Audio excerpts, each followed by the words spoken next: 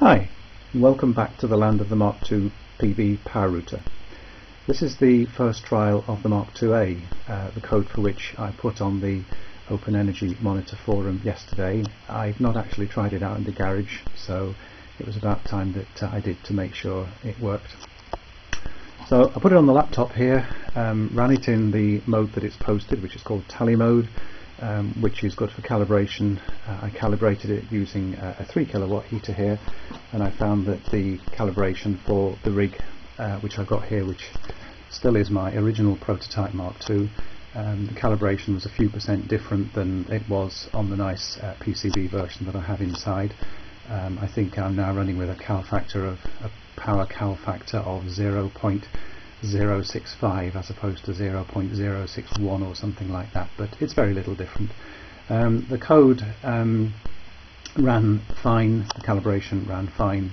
Um, it's now sitting there running in um, ordinary mode so I've removed the um, tally mode hash define line so it's running in perfectly ordinary mode.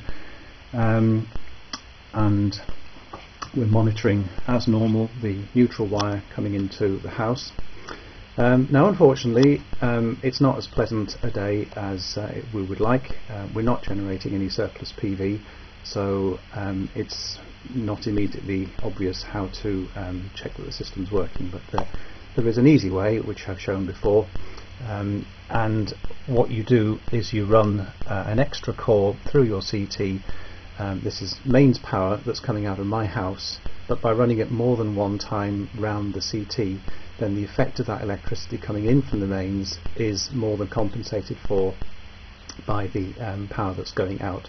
So the CT sees uh, the difference between the power that's coming in on the big wire and the power that's going out essentially twice. So if I put a kilowatt um, of power on in my house, um, then it looks like um, a kilowatt of surplus PV is being generated. So it allows you to check that the system's working although you're not actually um, uh, diverting free power, you're diverting power that you're paying for but I'm sure all this is, uh, is fairly straightforward. Anyway, so that's all plugged in and live. My heater is um, plugged in but not on. Um, at the moment we're generating um, no uh, not generating any surplus power I could put this onto constant. And we're now heating at three heating our water at 3 kilowatts. Turn him off again. What we want to do is to simulate some PV and that should start flicking. And all I do is I switch on the um, space heater on up something like 750 switch him on and we should start flicking. There we go so the delay was the energy bucket uh, charging up and I should be able to if I switch my surplus PV off, that should stop flicking uh, immediately. If I can turn that, that's gone off. Back on again. Every time I switch it off, the energy bucket empties, so it takes a while for the flicking to restart. Goes. If I put the fire on more, um, that's a 3 kilowatt heater on. So we've now got 3 kilowatts coming from the mains being recorded twice going back out through the CT so the difference between the 3 kilowatts coming in and, and the sort of surplus 3 kilowatts going out um, is 3 kilowatts which should be enough for our immersion heater uh, give or take. So that's pretty well on continuously. So I think that's a fairly good demo that the uh, Mark IIA is indeed doing what it says it does.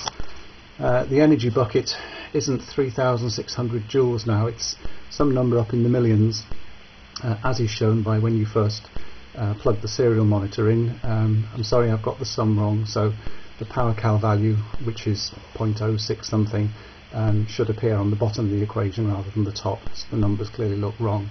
Um, but the, the code is working and given a bit of sunshine, we should start generating some um, some free heat again. So uh, uh, I look forward to hearing how other people are using it. It's a straightforward drop-in replacement for the uh, previous Mark II code, but uh, it's a lot uh, a lot slicker. So I look forward to hearing how people are able to make uh, use of it.